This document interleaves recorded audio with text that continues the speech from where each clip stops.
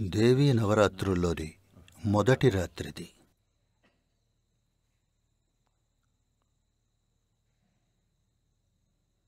ఈ రాత్రి దీని తర్వాత అదే తర్వాతి రోజు.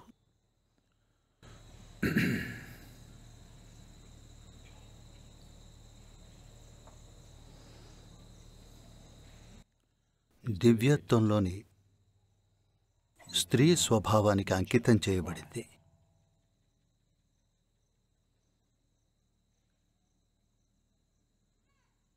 దుర్గా లక్ష్మి సరస్వతి వీరిని స్త్రీత్వంలోని మూడు పార్శ్వాలకు చిహ్నాలుగా పేర్కొంటారు. సృష్టిలో ఉన్న మూడు బలమైన గుణాలకు కూడా వీళ్ళు ప్రతిరూపాలు. అవి తామసం రాజసం ఇంకా సత్వగుణాలు. తామసం అంటే జడత్వం అని అర్థం. రాజసం అంటే చలనం ఇంకా ఇచ్ఛ సత్వం అంటే పరిమితులను అధిగమించటం. లయం అయిపోయి తాదాత్మ్యం చెందటం. మూడు గ్రహాలు మన శరీరానికి ఎంతో లోతుగా సంబంధం ఉన్న మూడు గ్రహాలు. భూమి ఇంకా సూర్యచంద్రులు. భూమాతను తామస గుణంగా చూస్తాం. సూర్యుడు రాజస గుణం. చంద్రుడు సత్వగుణం.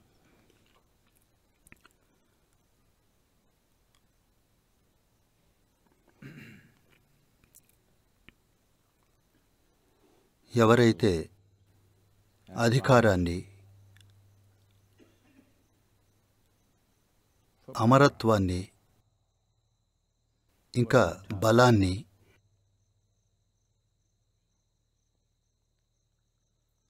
ఆకాంక్షిస్తారు. వాళ్ళు ఆరాధించేది మనం తామస రూపాలుగా సంబోధించే దేవి రూపాలను. కాళీమాత లేదా భూమాతను ఆరాధిస్తారు. ఎవరైతే ధనాన్ని ఆకాంక్షిస్తారో జీవితం పట్ల ఇచ్చకలవారు. ఇంకా లౌకిక ప్రపంచం అందించే అనేక బహుమతులను పొందాలనుకునేవారు. వారు సహజంగానే దేవి రూపంలోని లక్ష్మి రూపాన్ని కొలుస్తారు. Lakshmi. లేదా సూర్యుని కొలుస్తారు.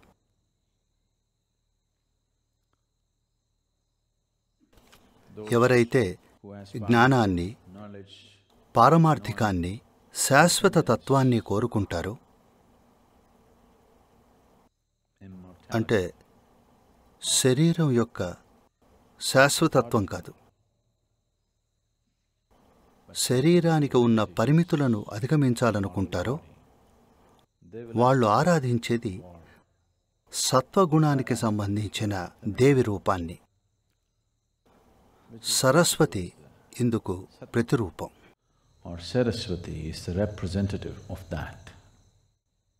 లేదా చంద్రుడు కూడా. ఈ మూడు వచ్చే మూడు రోజుల్లో వస్తాయి. ఈ రోజు దుర్గాదేవికి సంబంధించిన రోజు లేదా కాళీమాతకు రేపు లక్ష్మీదేవికి సంబంధించిన రోజు. ఆ తర్వాతి రోజు సరస్వతీదేవిది. ఇది ఇలా ఎందుకు అమర్చబడిందంటే మనం భూమి నుండే పుడతాం. మనం ఎంతో చురుకైన జీవనం సాగించవచ్చు అది రజోగుణం దేవి యొక్క రెండో గుణం. మూడవది మీకు లభ్యం కావచ్చు లేదా కాకపోవచ్చు. ఆవిడ మీలోకి దిగి రావాలంటే అందుకు మీరు కృషి చేయాలి లేకపోతే మీలోకి ఆవిడ దిగిరాదు కాళీమాత నేలపై నిలబడి ఉంటుంది. లక్ష్మీదేవి పద్మంలో కూర్చునుంటుంది. సరస్వతి. సరస్వతీదేవి నెమలిపై విహరిస్తూ ఉంటుంది. మాయలు ఎన్న తెరీమా? కోకం తెరీమా? మీరందరూ కనీసం తమిళంలో మూడు ముక్కలైనా నేర్చుకుని ఉండాలి. మైలన్న సొల్ సొల్లదు తెరీమా?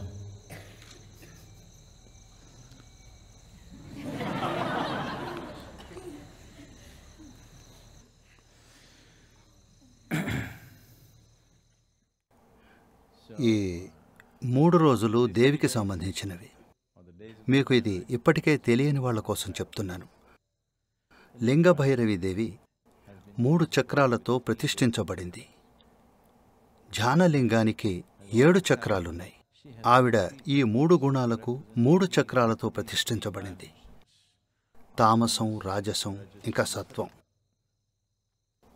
తామసం భూమి యొక్క గుణం. ఈ రోజున ఆవిడకి సంబంధించిన రోజు. ఆవిడ జీవానికి మూలం. మనం తల్లి గర్భంలో గడిపినటువంటి కాలం. మనం ఆవిడ గర్భంలో ఉన్న సమయం తామసం. That we spent in the womb, our womb time. ఈ స్థితి ఎంతో నిద్రాణంగా అనిపిస్తుంది. కానీ నిజానికి పిండం పెరుగుతోంది. అందుకే తామసం భూమి స్వభావం.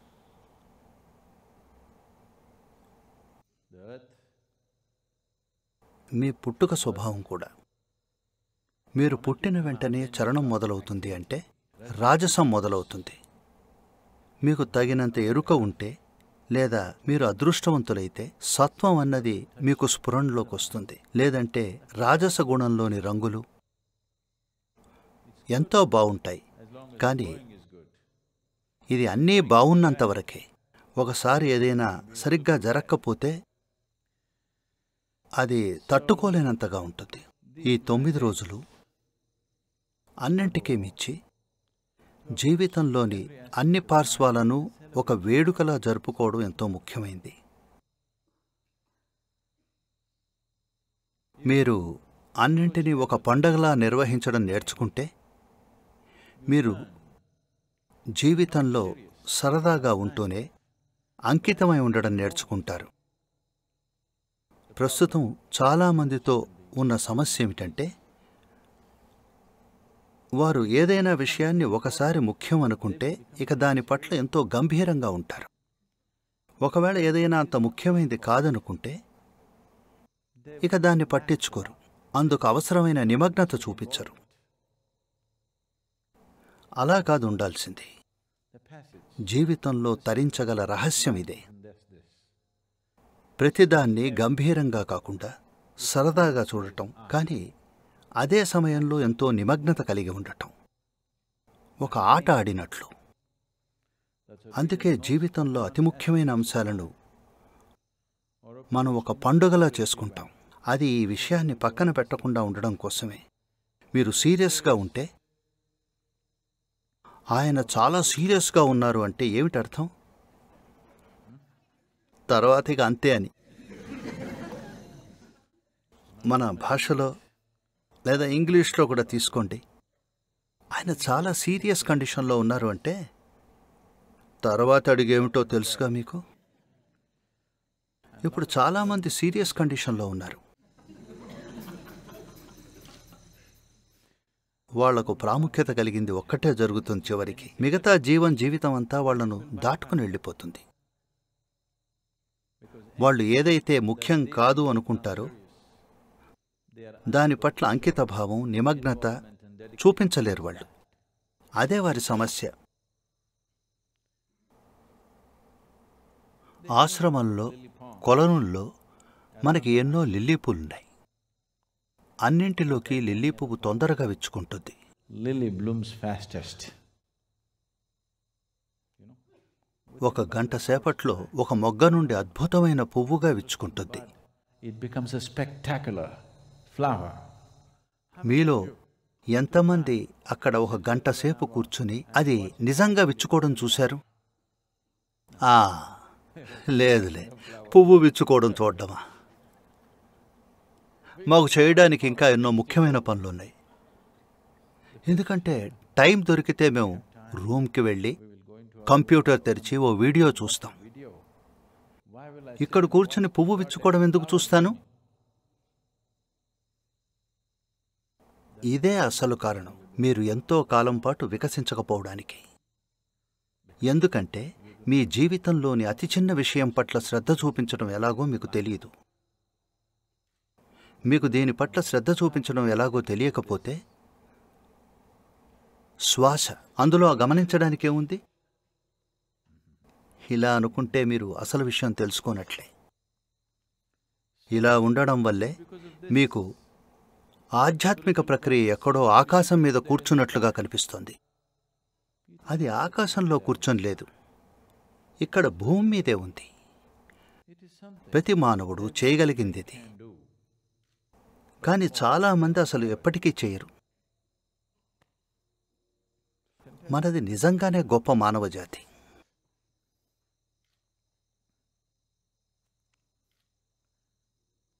మీరు మార్కెటింగ్లో ఉన్నారు.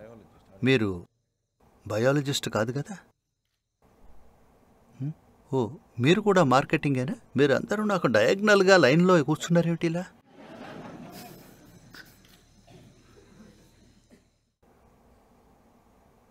మీరు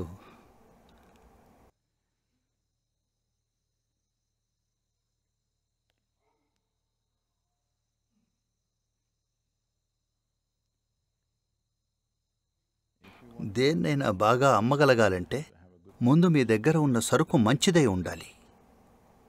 మీరు మంచి సరుకుని ఉత్పత్తి చేయడం మీద శ్రద్ధ పెట్టకుండా కేవలం మార్కెటింగ్ మీద శ్రద్ధ పెడితే అది ఘోరం.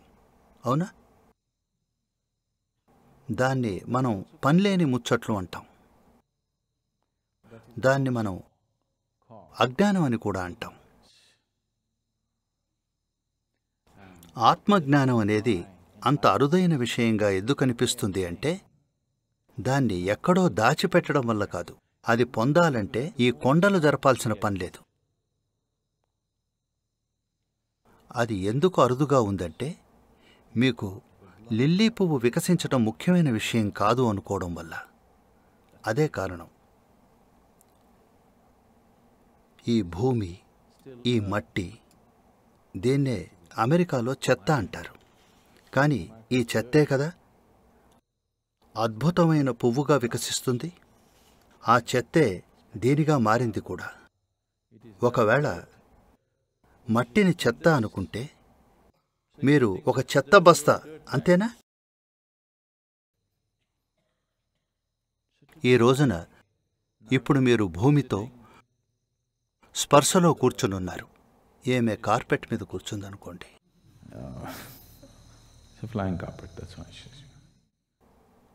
భూమి మీద కూర్చునున్నప్పుడు ఆవిడతో ఒకటిగా ఉండడం నేర్చుకోవాలి. Her. మీరు ఆవిడలో భాగమే. ఆవిడ కోరుకున్నప్పుడు మిమ్మల్ని బయటికి వదులుతుంది. మళ్ళీ కావాలనుకున్నప్పుడు మిమ్మల్ని లోపలికి లాగేసుకుంటుంది.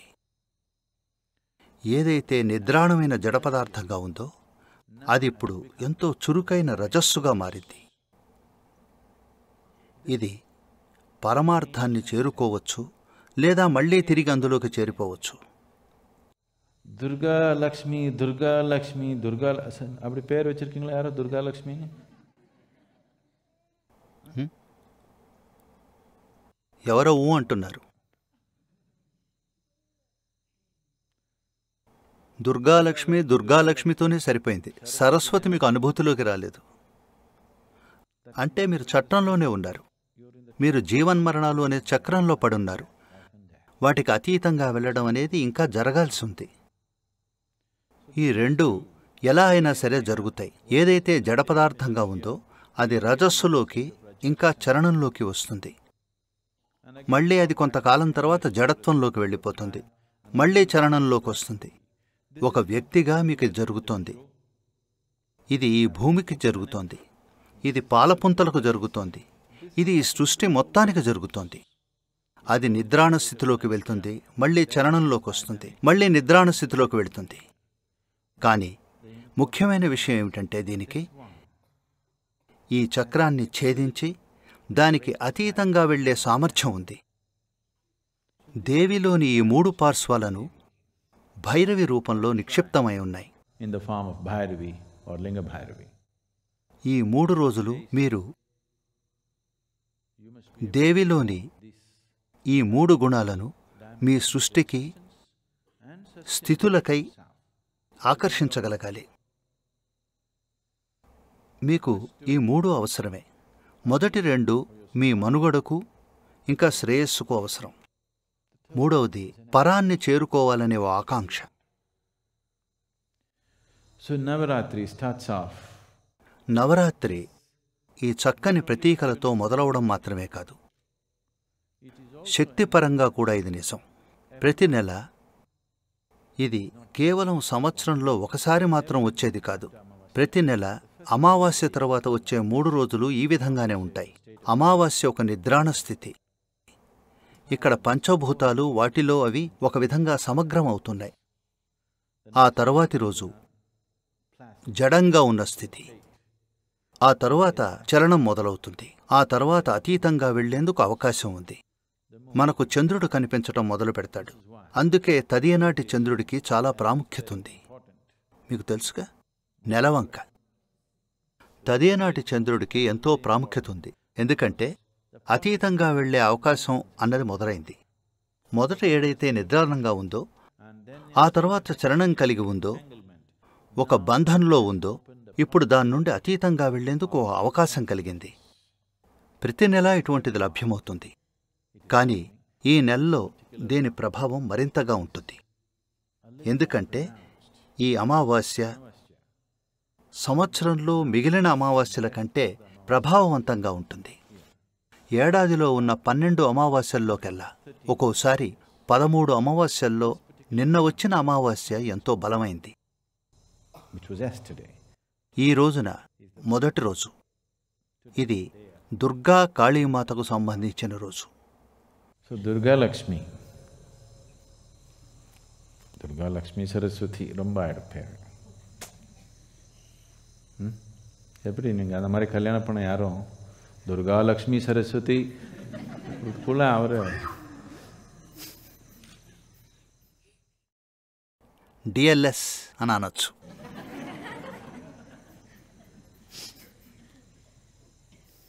Hmm?